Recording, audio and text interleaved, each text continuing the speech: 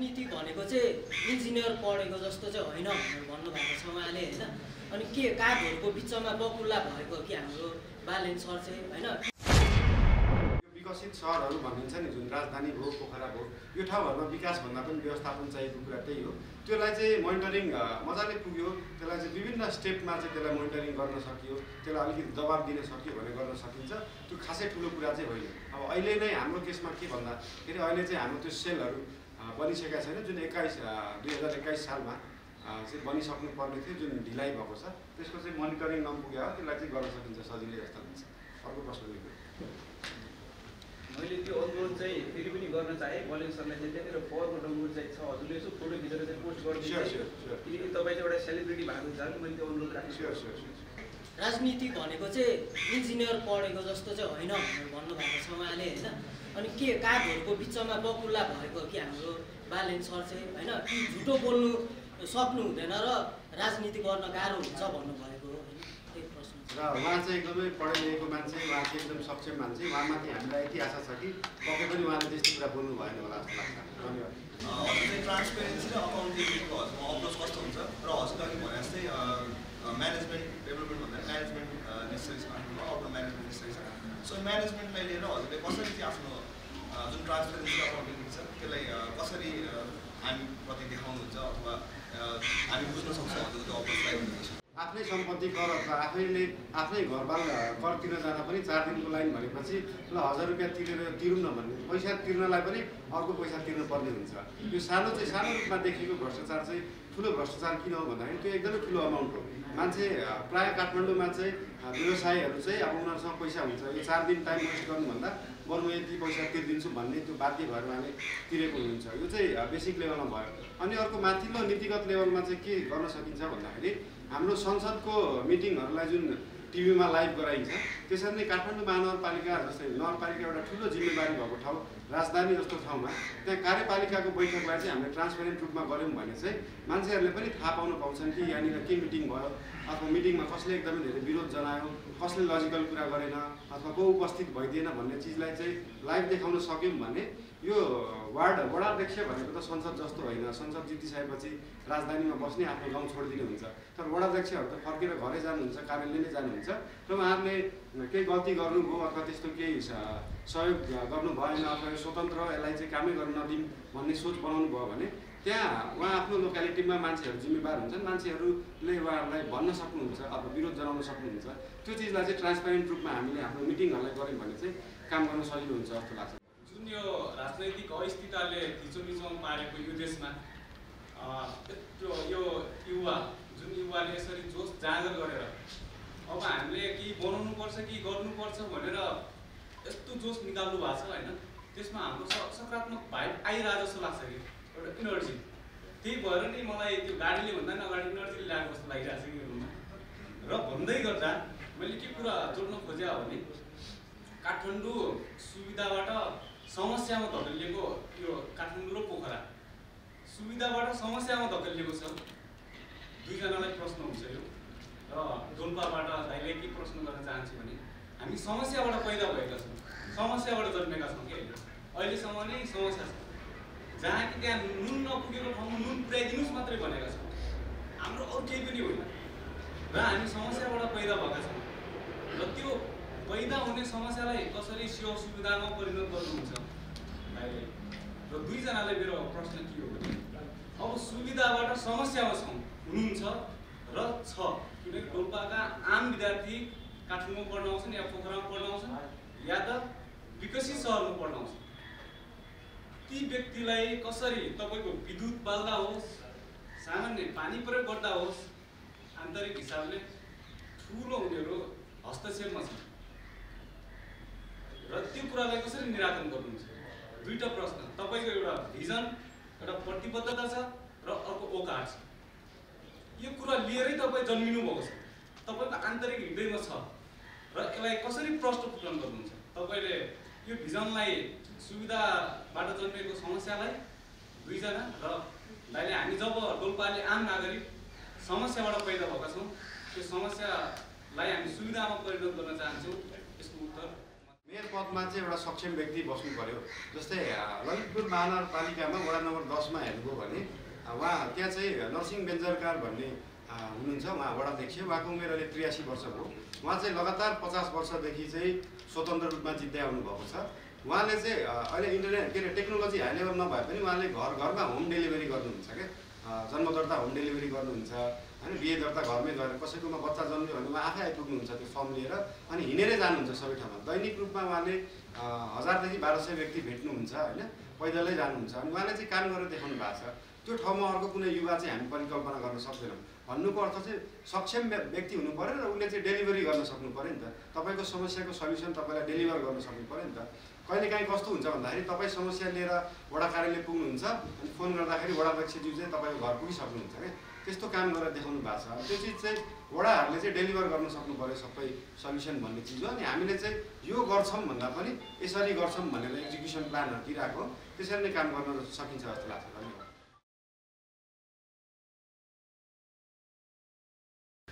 अहिले यो सहरको जङ्क फुडहरूको चाहिँ स्टोर भइरहेछ। त्यहाँ मिति सक्यो भने हतार हतार व्यापारीले उता पुऱ्याउँछ। गाउँमा अब हामी मैले लगभग चार महिना लगाएर दस किलोमिटर बाटो चाहिँ गाउँपालिकाले बजेट दिनुभयो। मागेको घरमा दस किलोमिटर बा गाउँमा खन्नु पऱ्यो त्यहाँ प्राविधिकहरू पनि हुनु नथ्यो गाउँमा। गाउँमा प्राविधिकमा ठुलो भेरी गाउँपालिकाको मान्छेलाई पनि त्यो समस्या थाहा छ। सामान्य प्राविधिकबाट नि खनियो। तर फेरि मुआवजा दिएको हुँदैन हामीहरू बिचरा कसैको त गाँस बाँसै उठ्छ त्यहाँ पनि कम्प्रोमाइज गर्नु पर्यो। त्यसरी गर्दा पनि जिल्लाको प्राविधिकको भाषाअनुसार यो बाटो चाहिँ जिल्लाको स्ट्यान्डर्डमा प्रथम भयो भन्नुहुन्छ उहाँहरूले। र त्यो बाटो खनिसकेपछि गाउँमा केही जीवन चाहिँ चेन्ज आयो। कोसेलीको रूपमा भने हाम्रो गाउँमा फलेका आलुहरू यहाँ आए। साग सोलीको साग भने अहिलेसम्म हाम्रोमा युरिया विकास यो विषादीहरू पुगेको छैन र रोकेको पनि छौँ धेरै प्रयोग पनि भयो। तर धेरैभन्दा धेरै चाहिँ अहिले गाउँमा मकै खानु हुँदैन भुटेको मकै खानु हुँदैन इज्जत जान्छ। आलु खानु हुँदैन इज्जत जान्छ। त्यो खालको यहाँबाट जङ्क फुड जुन काठमाडौँमा आउनुहुन्छ उहाँहरूले चाहिँ के लानुहुन्छ भने चाउचाउ खानुपर्छ बिस्कुट खानुपर्छ। बिस्कुटमा कुनैमा मिति हुँदैन सबभन्दा खराब तेल छ। अनि मैले यो हामीहरूलाई सबैभन्दा गाउँको बजेट बाहिर जाने भएर तोरी पकेट क्षेत्र गरेर चलाउँ भने त्यसमा चाहिँ के हुँदो रहेछ भने फलानु पार्टीको मान्छेले ल्याएको योजना हो यसलाई चाहिँ फेल गराउनुपर्छ। भनेर पनि लाग्नुभयो अनि त्यसपछि कर्मचारीहरूमा नि कमिसनको धेरै आश हुँदो रहेछ। म त जनप्रतिनिधि भइनँ। मैले त्यहाँ केही हस्तक्षेप गर्न नि मिलेन। सामान्य सोसियल वर्कर भएँ। अहिले म जुन गाउँपालिकाबाट उठिरहेको छु त्यो गाउँपालिकाको नाम पाँच पोखरी थाङपाल गाउँपालिका हो। पाँच पोखरी त धेरै साथीहरूले सुन्नु भएको होला। सिन्धुपाल्चोक पनि धेरै साथीले सुन्नु भएको होला। सिन्धुपाल्चोक भनेको चाहिँ काठमाडौँसँगै जोडेको जिल्ला हो। र आज पनि अब हेर्दाखेरि सुदूरपश्चिम अथवा कर्णाली भन्दा पनि विकट छ बरु सुदूर सुदूरपश्चिम र कर्णाली चाहिँ बनिसकेको छ। तर काठमाडौँ नजिकैको जिल्ला चाहिँ अब अझै पनि विकट छ। र अलिकति म आफ्नो बाल्यकालतिर पनि लिएर जान्छु सिन्धुपाल्चोकको बारेमा भन्नुपर्दाखेरि म बच्चामा अब बच्चामा जन्मेको हुर्केको म गाउँमा नै हो। र म मेरो जन्मिसकेपछि म भोटे नामलाङ भन्ने गाउँमा मेरो जन्म भएको थियो। त्यहाँ चाहिँ कसरी अब छोरीलाई पढ्नुपर्छ भन्ने चलन थिएन र अर्को चाहिँ मेरो जिल्ला चेलबेटी बेचबिखनको जिल्ला भनेर चिनिन्थ्यो। र पछि मैले बुझ्दै जाँदाखेरि चाहिँ के थाहा पाएँ भने त्यहाँ त साँच्चैकै नै दिदी बहिनीहरू त धेरै नै विदेश जाँदो रहेछ विदेश भनेको इन्डिया। अनि त्यहाँबाट आउँदाखेरि चाहिँ अब सबैले माया गर्दो रहेछ। म पनि एकपल्ट चाहिँ के भयो भने मेरो एकजना साथीले के भन्यो म सानै थिएँ छ सात वर्षको थिएँ। र त्यतिखेर चाहिँ अब मेरो आफ्नै बच्चाको साथी उसले के भने उसले मलाई माया गरेर डल्ले डल्ले भन्थ्यो ए डल्ले यस्तो राम्रो केटी आएको छ हेर्न जाउँ भनेर। गएको वास्तवमा एकदमै राम्रो। लामो कपाल अनि टाढेबाट बाँच्न आउने सेतो गोरी। अनि उसले के भने हामी पनि पछि ठुलो भएपछि त्यस्तै बन्ने। थाहा थिएन कि ऊ चाहिँ इन्डियाबाट आएको। हो त्यस्तो धेरै दिदी बहिनीहरू हुनुहुँदो रहेछ। र पछि पछि त्यो हामी पनि अलिकति ठुलो हुँदै गयौँ। र एक दिन अचानक के भयो भने एकजना दिदीलाई एचआइभी लाग्यो। एचआइभी लागेपछि चाहिँ त्यो दिदीलाई गाउँबाटै समाजबाटै बहिष्कृत भयो। जब उसले कमाउँदाखेरि सबै परिवार पनि ह्याप्पी समाज पनि ह्याप्पी सबैको रोल मोडल भएको थियो जुन दिन उसलाई चाहिँ रोग लाग्यो त्यसपछि उसको लागि परिवार परिवारको लागि ऊ मऱ्यो समाजको लागि ऊ मऱ्यो भनेपछि त्यस्तो खालको दिदीबहिनीहरू यता उता धेरै कमल थियो। र मेरो आफ्नो व्यक्तिगत कुरा गर्नु पर्दाखेरि हामी कहाँ चाहिँ बच्चामै बिहा गर्ने चलन छ। अहिले पनि अब तराईदेखि लिएर अब धेरै जस्तो गाउँघरमा चाहिँ बालबालिका बिहा बाल विवाह गर्ने चलन छ। मैले पनि के गर्नु मेरो पनि अब बच्चामै विवाह हुन लाग्यो चौध वर्षको उमेरमा मेरो विवाह हुन लागेको थियो। अनि धेरै कोसिस गरेँ बुवासँग भने म बिहा गर्दिनँ मलाई पढाइदिनुहोस् बुवाले भन्नुभयो अब तिमी त छोरी मान्छे हो बुढोले पाल्छ। तर मेरो आमाले के भन्नुभएको थियो भने सबैभन्दा ठुलो सम्पत्ति भनेको शिक्षा हो। शिक्षामा लगानी गर्नुपर्छ। तिमी शिक्षित हुनुपर्छ। मैले नपढेको कारणले दुःख पाइयो अब तिमी चाहिँ पढ्नुपर्छ भनेर आमाले भने आमाले भनिसकेपछि मैले पढाइ चाहिँ महत्त्वपूर्ण रहेछ है भनेर पढ्न थालेँ। तर मेरो बुवाले चाहिँ मेरो बिहा गरिदिनु लाग्नुभयो त्यसपछि मेरो भोलि जन्ती आउने थियो। आज रातिसम्म पनि मैले धेरै कोसिस गरेँ। नभएपछि मैले घर छोड्न बाध्य भएँ र घर छोडेर भागेँ। भागेँ र अब कथा त अलिक लामो नै छ तर त्यसपछि चाहिँ मेरो बुवाले मलाई स्वीकार्नु भएन। मेरो छोरी मऱ्यो भने मेरो काज क्रिया पनि भयो। त्यसपछि म गाउँमा गएर फेरि गाउँबाट पढ्न थालेँ र पढ्दै जाँदाखेरि एसएलसीसम्म चाहिँ मैले गाउँबाटै उम्, गाउँमै पढेँ र अघि राजनीतिको कुरा आयो। म सात आठ कक्षा यहाँ जब म फेल भएँ म पद्मकन्या स्कुलमा पढ्थेँ। म जब मेरो बिहा हुने भइसकेपछि म पछि गाउँमा गएर पढ्दाखेरि चाहिँ त्यहाँ चाहिँ मलाई एउटा टिम आयो कि नयाँ मान्छे आइरहेछ तपाईँ चाहिँ पार्टीमा आउनुपर्छ। मलाई पार्टी भनेको थाहा थिएन। तर एउटा उमेरमा चाहिँ नाच्ने गाउने रहर चाहिँ सबैलाई हुन्थ्यो। मलाई पनि एउटा नाच्ने गाउने रहर थियो। त्यहाँको एउटा कमिटीले चाहिँ मलाई नाच्ने गाउने टिममा राखेर तपाईँ चाहिँ हाम्रो पार्टीको मेम्बर हुनुभयो है भनेर राख्नुभयो। अब हामी त एउटा रमाइलो बच्चालाई त अब जे सिकाइ त्यही सिक्ने रहेछ। अनि त्यसमा चाहिँ के भयो भने चुनाव आउन लागेको रहेछ। त्यो चुनावमा चाहिँ उहाँहरूले हामीलाई सबै ठाउँ लिएर जानुभयो। सबै त्यो नेताहरूलाई जिताउनको लागि चाहिँ नाच्ने गाउने त्यस्तो लिएर जानुभयो। तर त्यस त्यो कारणले गर्दा हाम्रो पढाइ पनि बिग्यो म चारपल्ट एस एसएलसी फेल भएँ। त्यो त्यो एसएलसी फेल भइसकेपछि भोट माग्यो नेतालाई जितायो तर त्यो जितिसकेपछि चाहिँ त्यो हामीलाई जो सहयोग गर्ने हाम्रो बालबालिकाको के छ हालत भन्ने चाहिँ कसैले पनि सोध्न आएन। म चारपटक फेल भएँ त्यसपछि मैले सोचेँ यो राजनीति हामी बच्चाले गर्ने होइन। जुन दिन म बन्छु त्यो दिन म गर्छु भनेर म त्यसपछि मैले धारै चेन्ज गरेँ। र त्यसपछि मैले चाहिँ अब आफ्नै स्ट्रगलमा चाहिँ मैले पढ्न त मैले पाएन त्यतिखेर संस्था पनि थिएन अब बाउले स्वीकार पनि गरेन। धेरै कोसिस गर्दाखेरि पनि मैले पढ्न नपाएपछि चाहिँ मलाई मेरो इन्ट्रेस्ट चाहिँ मैले फलो गर्दै गएँ। फलो गर्दै जाँदाखेरि म माउन्टेनियरिङतिर लागेँ र मैले दुई हजार बैसठी सालमा चाहिँ सगरमाथाको सफल आरोहण गरेँ। देश चाहिँ परिवर्तन गर्ने युवाले नै हो। हामीले चाह्यो भने हामीले जस्तै बनाउन सक्ने रहेछौँ। किनभने हामी दसजना महिला थियौँ तराईको महिला हुनुहुन्थ्यो तराईबाट पहिलो महिला होइन? तर कहिले हिमाल नदेखेको कहिले पहाड नदेखेको महिलाले पनि त्यो आँट गर्यो सुदूरपश्चिमबाट हुनुहुन्थ्यो ताप्लेजुङबाट हुनुहुन्थ्यो दोलखाबाट हुनुहुन्थ्यो काठमाडौँबाट हुनुहुन्थ्यो म सिन्धुपाल्चोकबाट र सबै जाति बाहुन पनि हुनुहुन्थ्यो छेत्री पनि हुनुहुन्थ्यो नेवार तामा सबै हामी समावेशी थियौँ। त्यतिखेर भर्खर गणतन्त्र आएको थियो नेपालमा। समावेशीको कुरा भइरहेको थियो। तर हामीले समावेशी हिसाबले जाउँ न त नेपालको हाम्रै देशको हाम्रै आँगनको हिमाल हामी किन नचढ्ने त? भनेर हामी सगरमाथाको चाहिँ चुचुरोमा नेपालको झन्डा लिएर गयौँ। र एका एक माया गुरुङ अघिल्लो दिनसम्म चाहिँ एकदम कलङ्कित बाउको चाहिँ इज्जत फ्याँकेको समाजमा चाहिँ यस्तो खालको भनेको नमान्ने भन्ने मान्छे एकाएक म हिरो भएँ त्यसपछि। होइन?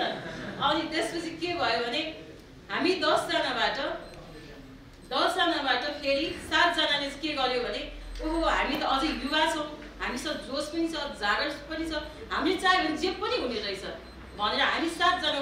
फेरि के गर्यो भने विश्वको अग्लो हिमाल प्रत्येक महादेशको अग्लो हिमालमा चाहिँ नेपालको झन्डा फरफराउने भनेर हामी सातजना महिला लागेर सातवटा महादेशको अग्लो हिमालमा नेपालको झन्डा फरफराएर फरफरायौँ। र हामी विश्वको पहिलो महिला टिम पनि भयो। मात्र मैले मेरो आफ्नो क्षमतालाई हेरेँ र विदेशबाट सबै देशको हिमाल जब कि अन्टार्टिकाको जहाँ बस्ती छैन त्यो ठाउँमा पनि हामीले फरफरायौँ। र त्यसपछि आयो नेपाल आयो नेपाल आइसकेपछि हामीलाई के लाग्यो भने अब चाहिँ केही काम गर्नुपर्छ? युवाहरूकै लागि तिनवटा यी। यीमा चाहिँ एउटा एउटा एजुकेसन एउटा इन्भाइरोमेन्ट एउटा एउटा चाहिँ इम्पावरमेन्ट होइन? इन्भाइरोमेन्टमा पनि माउन्टेन इन्भाइरोमेन्ट हामी हिमालय हिमालमा जन्मेको होइन? हाम्रो देश हिमालय हिमालय चिनेको हामी विश्वको एकदमै शक्तिशाली देश जहाँ चाहिँ यति धेरै हिमाल काहीँ पनि छैन। त्यो देशको मान्छे हामीलाई हाम्रो हिमाल कतिवटा छ भन्ने कुरा पनि थाहा छैन। हाम्रो हिमालको नाम पनि थाहा छैन। हामी काठमाडौँ बस्छौँ यहाँ वरिपरि यति धेरै हिमालहरू देख्छौँ तर त्यो हिमालको नाम मलाई थोरै थोरै थाहा छ तपाईँहरूलाई कति थाहा छ थाहा छैन होइन? भनेपछि हामीले हामी यस्तो ठाउँमा बसेका छौँ कि जुन तपोभूमि भन्छौँ होइन जुन भगवान्को जन्मेको देश भन्छौँ तर यसलाई मरुभूमि भन्दा पनि एकदमै बनाएको छौँ कि एकदम विकार। किनभने यो त स्वर्ग हो। मलाई अब विश्व घुमेर आएँ विश्वको प्रत्येक चुचुरोमा पनि पुगेर आएँ होइन? तर नेपाल आउँदाखेरि मलाई एकदम गर्व हुन्छ। हामी कहाँ जस्तो हिमाल कहीँ पनि छैन तर त्यो हिमालहरूमा फोहोर रहेछ। तर त्यो हिमालले हाम्रो पहिचान पनि जाँदो रहेछ। हामी अहिले तपाईँको रेमिट्यान्स पछि सेकेन्डमा जिडिपीको लागि सबभन्दा सेकेन्डमा पढ्ने भनेको टुरिज्म हो। टुरिज्ममा लगानी नै भएको छैन। हामी बेरोजगारको नाममा चाहिँ हरेक युवाहरू चाहिँ विदेशी नै गरेको छ। भनेपछि हामी तिनवटा इमा इमा एउटा एजुकेसन भयो होइन एजुकेसनमा पनि गुणस्तरीय एजुकेसन सबैमा समान एजुकेसन हुनु पर्यो त्यो सम्भव छ। अर्को भने इन्भाइरोमेन्ट इन्भाइरोमेन्ट पनि हिमाल सफा भएको यहाँ तल शिर सफा भएको तल सफा हुन्छ। शिरै फोहोर छ होइन भनेपछि माथिबाट सफा गर्दै तल आउनुपर्छ भन्ने एउटा त्यो भयो। अनि इम्पावरमेन्टमा पनि इकोनोमिक इम्पावरमेन्ट हुनु पैसा कमाउनु पऱ्यो नि। पैसा नपाइकन त्यत्तिकै सशक्त सशक्तिकरण भनेर त भएन होइन? भनेपछि पैसा कसरी कमाउने? हामी खालि विदेश जाने एकजना विदेश गएपछि सबैजना विदेशतिर लाग्ने। त्यो मात्र हामी देख्छौँ। तर हाम्रो वरिपरि पनि धेरै सम्भावना छ। हामीले यति भाग्यमानी छौँ कि हामीले केही बनाउनै पर्दैन। सबै बनेको छ। हिमाल बनेको छ आफै। त्यो पनि विश्वको सबैभन्दा अग्लो अग्लो चुचुरोहरू बनेको छ। ताल तलो बनाउनु पर्दैन। अलरेडी बनिसकेको छ। होइन? यो चुचुरोहरू त्यतिकै बनिसकेको छ त्यो भ्युटाहरू बनाउनै पर्दैन। होइन? त्यो त भगवान्ले बनाएको नि। तर त्यहाँसम्म जाने बाटोघाटो त बनाउनु पऱ्यो नि त। पूर्वाधार त बनाउनु पऱ्यो नि त। म सबै माथा चढ्ने बेलामा एभरेस्ट बेस क्याम्पसम्म पुग्दाखेरि मैले के रियलाइज गरेँ भने त्यहाँ त मान्छे त डलर खर्च गर्न आउँदैन रहेछ होइन? तर त्यस्तै ठाउँ अरू ठाउँमा पनि बनाउनु पायो भने त डलर खर्च डलर त यहीँनिर आउने रहेछ काम नेपालमा आउने रहेछ किन विदेश जानु पर्यो? स्वतन्त्र उम्मेदवारी मात्रै दिएको होइन। म आजभन्दा तेह्र वर्ष अगाडिदेखि चाहिँ नगरपालिका नजन्मिँदै? चाहिँ नगरपालिका चाहिँ यस्तो बनाउनुपर्छ भनेर खाका कोरेर चाहिँ तयार गरेर त्यसमा काम गरिरहेको मान्छे र त्यो खाकामा हामीले चलिआएका दलहरूलाई हामीले लिएर आयौँ ट्रेन गरायौँ काम गरायौँ। तर लास्टमा के रहेछ भन्दाखेरि उही कुकुर जहाँ कुखान पाइन्छ उही जानु पाइन्छ। अनि तालको चाहिँ देखिनुभयो उहाँहरू। र अहिले मैले यो कुरा चाहिँ किन राख्न चाहेको भन्दाखेरि जस्तो पहिलो प्रश्न उहाँले उठाउनु भएको थियो फोहोर। फोहोर मेरो नगरपालिका हुँदै जान्छ। चारकस्तो नगरपालिका हुँदै जान्छ। उहाँलाई यहाँ बस्दाखेरि त्यहाँको समस्या के छ थाहा छैन। तर त्यही फोहोरको कारण मेरो आफ्नो साथीभाइ मैले गुमाएको छु। फोहोरको टिपरको ठक्करको कारणले गर्दाखेरि चाहिँ त्यहाँका नागरिकहरू मरेका छन्। फोहोरको कारण त्यहाँको चाहिँ जनताको स्वास्थ्यमा प्रतिकूल असर परिरहेको छ। मान्छेलाई फोहोरसँग त सरकार फोहोर किन उठेन? अर्को कुरो म यहाँ सबैलाई चाहिँ म प्रश्न गर्न चाहन्छु। म काठमाडौँको भाग भइसकेकोले यहाँ काठमाडौँको मात्रै मान्छे कतिजना हुनुहुन्छ मुस्किलले पाँच प्रतिशत पनि हुनुहुन्न यहाँ सबैजना नेपालभरिबाट आउनु भएको छ काठमाडौँले छ तपाईँहरू तपाईँहरू चाहिँ के त के के दिएको त काठमाडौँ फोहोर अनि त्यो पनि तैँले उठाइनस् भनेर भनिराख्नु भएको बारम्बार त्यसको फोहोर त्यसको एक्ज्याक्ट। त्यसको एक्ज्याक्ट प्लानिङ छ म त्यसको प्लानिङ लिएर आएको म स्वतन्त्र नागरिक भएको हैसियतले तारकेश्वर नगरपालिकामा निर्वाचित भइरहँदा मलाई मसँगै मेरो भिजनमा काम गर्ने नगरपालिकाको मेयर पनि चाहिन्छ। तब मात्र त्यो फोहोरको व्यवस्थापन गर्न सकिन्छ। त्यो पनि चुटकी भयो। किनभने यहाँ त फोहोरबाट राजनीति गरिरहेको मान्छे त्यो हामीलाई नजिकबाट राम्रोसँग थाहा छ। त्यतातिर अहिले नजाउँ। समस्या हाम्रो हो र हामीले नै समाधान गर्नुपर्छ। र अघि बालेजीले कुरा उठाउनु भयो नि कि हाम्रो यहाँ चलेको जात्रा चाडपर्वमा चाहिँ यो किन गर्ने भनेर चाहिँ जुन कटौती गरियो त्यो कटौती किन गरियो भन्दाखेरि तपाईँहरू जस्तै आउनुभयो काठमाडौँमा पढ्नुभयो बस्नुभयो सुविधा लिनुभयो नेता बन्नुभयो अनि यहाँको कल्चर तपाईँहरूलाई त त्यो चाहिँदैन भनिदिनु भयो कि? त्यस कारण प्रश्न बहुत गम्भीर छ। प्रश्न उठाउनलाई त जसले पनि उठाउन सक्छ। यो भएन त्यो भएन जसले पनि सक्छ। आजको दिनमा चार वर्षको कार्यकाल हामीले उहाँहरूलाई दिएर अब तपाईँबाट काम हुँदैन। भनेर म उम्मेदवारी दिइरहेको मान्छे म पेसाले किसान हुँ। प्रशिक्षक पनि हुँ।